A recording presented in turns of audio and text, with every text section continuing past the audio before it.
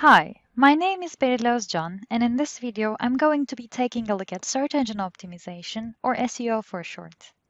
Search engine optimization means ensuring that the pages of your website get higher rankings in search engine results, for example in Google or Bing.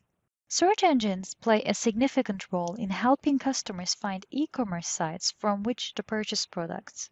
And since customers primarily pay attention to the top 3 to 5 results returned by their search, it is extremely important for online merchants to ensure that their site is ranked as high as possible in order to attract potential customers. With this in mind, the WCMS module in SAP Commerce provides a range of tools to assist vendors in optimizing their site. Let's take a look at some of them in detail starting with the facility to tag keywords or descriptions for preferential indexing. Meta tags provide structured metadata about a storefront page. You can use meta tags to specify various page attributes, such as page description or keywords. The tags are placed in the head section of the page.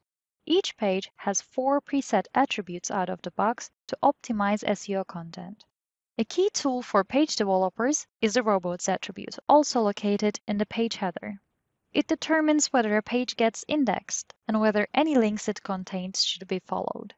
For most use cases, you do not want to index pages that are created dynamically, such as shopping carts.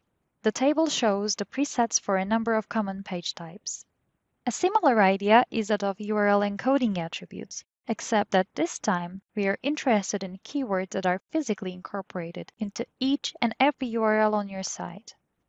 The accelerator sites have language and storefront predefined, but your developers can create any attributes you require. Once an encoding attribute has been defined, it can be pulled into any website configuration in the back office.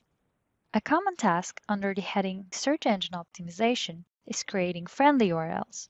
In practice, many pages are not created with the most user-friendly names. They might be too long or too complicated, for example. Or sometimes you may just want to change a page's URL during the lifecycle of a site. In SmartEdit, you can use the page editor to change a page label.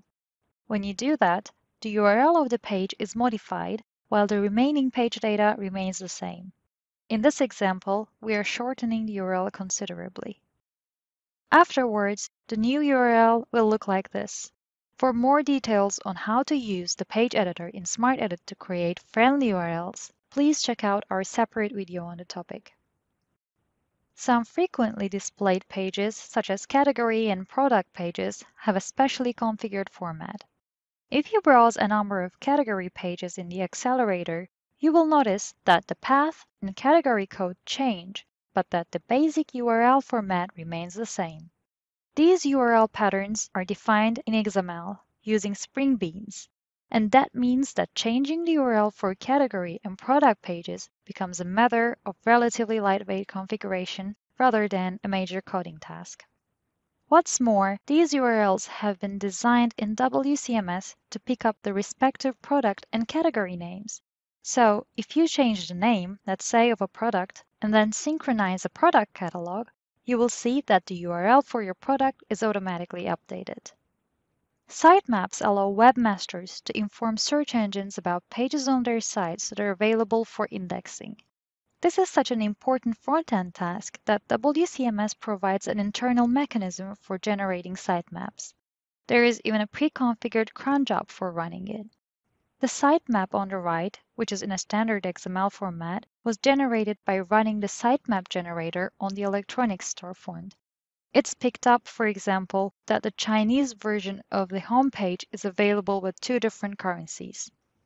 In short, with the support that SAP Commerce offers for search engine optimization, vendors can win businesses and increase sales by achieving higher search engine rankings. As always, more details can be found in the SAP Commerce help pages. Thank you for watching.